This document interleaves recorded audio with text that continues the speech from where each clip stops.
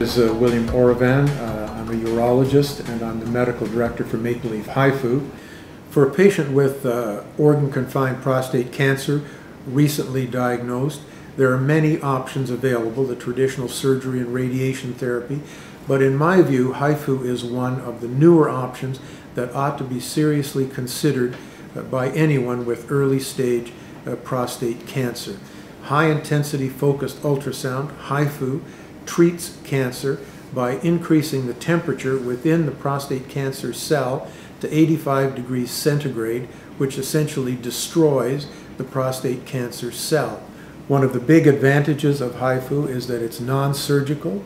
Uh, recovery is faster, associated with fewer side effects, and outcomes remain very positive. I felt for some time that we need to look for less invasive treatment options for prostate cancer that offer patients a high expectation of cure, but at the same time uh, have minimal side effects.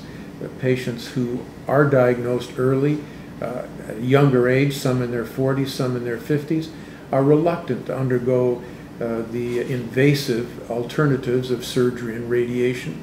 And when HIFU uh, became available, uh, first in Europe and in 2003 in uh, Canada, I felt that this was an excellent option for patients to consider.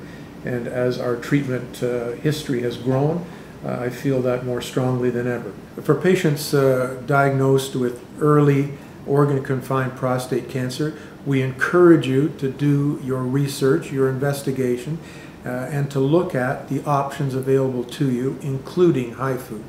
As someone who has treated prostate cancer uh, for almost 30 years, and has done radical prostatectomies and referred patients for radiation treatment.